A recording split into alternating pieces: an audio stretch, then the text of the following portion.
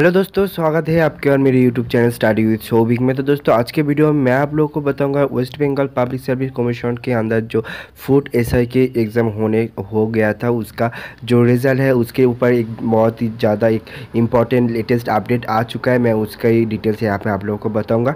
इसके साथ साथ दोस्तों, आप लोगों को बताऊँगा कि काट ऑफ़ क्या रहेगा। इसके साथ साथ दोस्तों, और भी अगर कुछ डिटेल है, उसको भी मैं आप लोगों को डिटेल में बता दूँगा।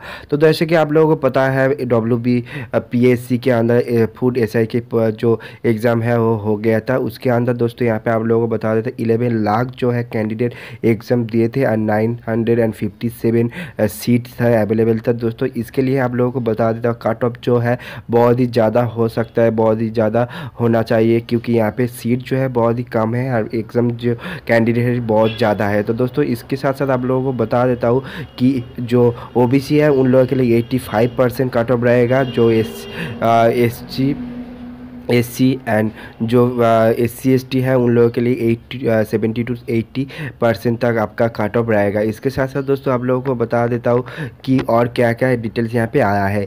जैसे कि आप लोगों को पता है दोस्तों, यहाँ पे आप लोग देख सकते हैं जनरल वालों के लिए यहाँ पे आपको seven to eighty seven to eighty five तक आपका जो कट ऑफ़ है रहेगा। इसके साथ साथ आप लोगों को कट ऑफ़ जो है बहुत ही ज़्यादा रहेगा। तो दोस्तों, और भी एक बहुत ही अपडेट आया है कि आपका जो लोकसभा जो वोट हो रहा है, इसके लिए यहाँ पे जो एग्ज़ाम है, वो थोड़ा देरी से आएगा। यहाँ पे डिटेल्स नहीं है कि एग्जैक्ट डिटेल नहीं दिया है कि इसी डेट में आपका जो रिज़ल्ट है आएगा। तो दोस्तों, इसके लिए इस मेरा चैनल को सब्सक्राइब कर लीजिए और देखते रहे। मैं लेटेस्ट अपडेट आप लोगों के पास ही लेते आऊँगा। अगर आपका इस डब्ल्यू बी पी एस के रिज़ल्ट अगर कोई भी नोटिफिकेशन आता है तो उसका भी डिटेल मैं आपके सामने सामने वीडियो बना के ले आऊँगा। तो दोस्तों, यही था आज की वीडियो अगर आप लोगों को पसंद आया लाइक शेयर सब्सक्राइब करना